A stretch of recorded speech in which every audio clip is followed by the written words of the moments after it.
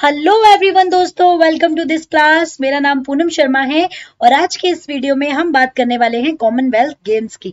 जी हाँ 2022 के Commonwealth games Birmingham में आपके हुए जो कि अभी कंप्लीटली समाप्ति हो चुकी है, इसीलिए ये वीडियो मैं थोड़ा लेट बना रही हूँ, ताकि सारे मेडल्स के बारे में मैं आपको बता सकूँ। तो चलिए जानते हैं आज के इस वीडियो में कि किसने कितने गोल्ड लिए इंडिया को कितने गोल्ड मिले हैं, ये सारी चीज़ें आज के इस वीडियो में जानेंगे। तो उम्मीद करूँगी कि आपको आज का सेशन डेफिनेटली बहुत ज़्यादा अच्छा लगने वाला है। तो दोस्तों, पहले ही बता दूँ इंडिया ने टोटल 61 मेडल्स लिए हैं, जिसमें गोल्ड सिल्वर ब्रॉन्ज तीनों हैं। तो कैटेगरी वाइज हम लोग सारी चीज़ों को अभी देखेंगे। ओके तो थोड़ा सा आगे बढ़ेंगे और पहले थोड़ी कॉमन जानकारी ले लेते हैं कि कितने खिलाड़ी थे, क्या था सब कुछ। तो ये जो कॉमनवेल्थ गेम का सिलसिला शुरू हुआ, ये 28 जुलाई को शुरू हुआ था और 8 अगस्त को खत्म हो गया।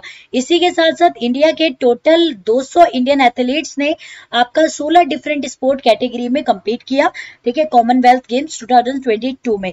ठीक है तो ये आपको याद रखना है। उसी के साथ साथ आपको मैं बता दूँ कि इन गेम्स में शूटिंग बिल्कुल भी नहीं थी। एक्चुअली शूटिंग से क्या होता है कि हमारे जो मेडल्स की संख्या बढ़ जाती है, क्योंकि अभी तक का इतिहास रहा है, भारत ने सबसे ज़्यादा वहाँ से भी मेडल जीते हैं। इसीलिए अगर इसमें शूटिंग रहता तो आपका ये आंकड़ा 61 से बहुत ज़्यादा क्रॉस कर जाता। एक्चुअली शूटिंग नहीं था, ठीक है? साथ ही साथ जेवलिन भी नहीं था ठीक है? जेवलिन के जो महारथी नीरज चोपड़ा जी हैं तो वो भी इसमें शामिल नहीं थे, ठीक है? तो ये भी एक कहीं ना कहीं रीजन भी है। वैसे तो हमने पूरे 61 मेडल लिया और पूरे विश्व में अपने देश का परचम लहरा दिया। पर लेकिन उसी के साथ साथ अगर शूटिंग और जेवलिन वगैरह होता तो ये मेडल्स की संख्या और बढ़ जाती।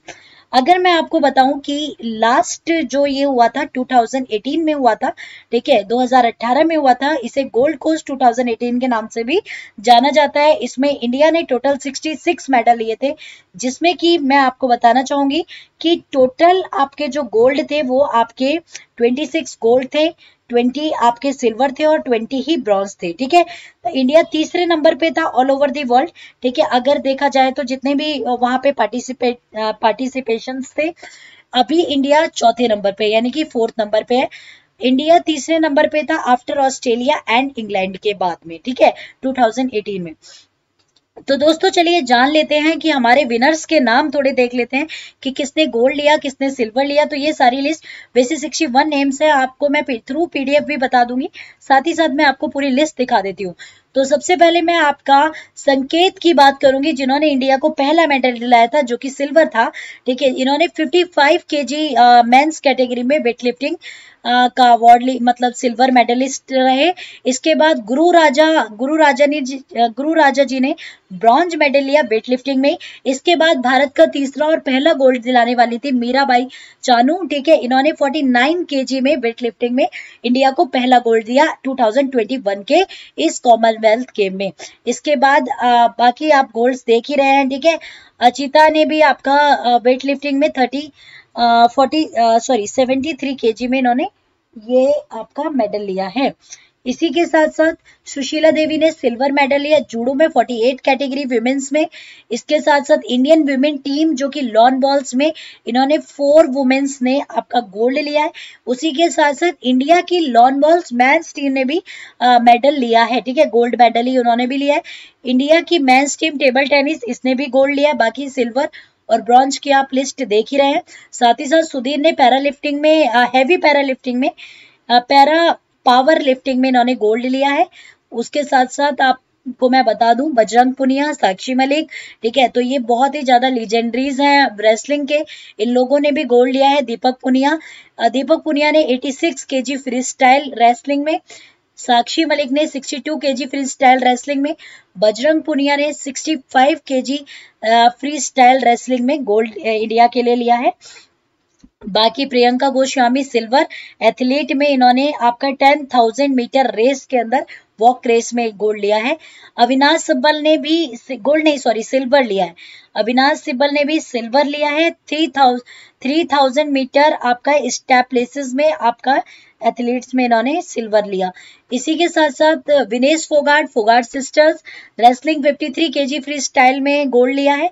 नवीन, इन्होंने भी फ्री स्टाइल 74 केजी मेंस में मेंस रेसलिंग में लिया गोल्ड इसके साथ साथ बाकी रवि कुमार दहिया, इन्होंने 57 KG free style wrestling men's में गोल्ड लिया। बाकी सिल्वर और आपका ब्रॉन्ज की लिस्ट आप लोग देख ही रहे हैं।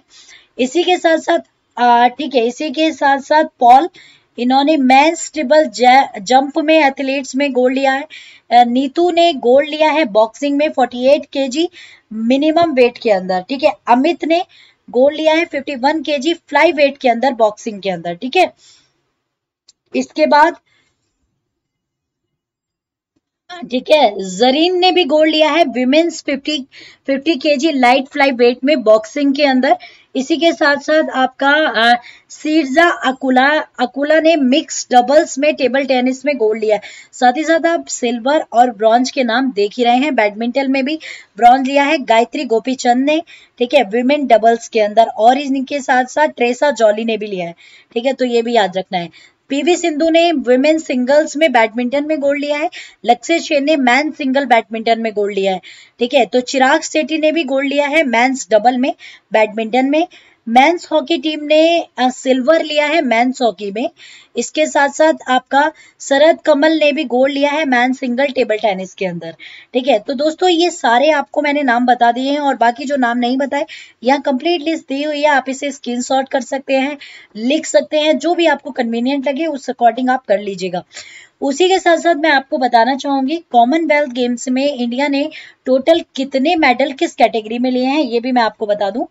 इंडिया के अंदर वेट लिफ्टिंग की अगर मैं बात करती हूँ तो टोटल दस वेट लिफ्टिंग में मतलब मेडल मिले हैं। तीन गोल्ड, तीन सिल्वर और चार ब्रॉन्ज। तो हो गए टोटल टेन।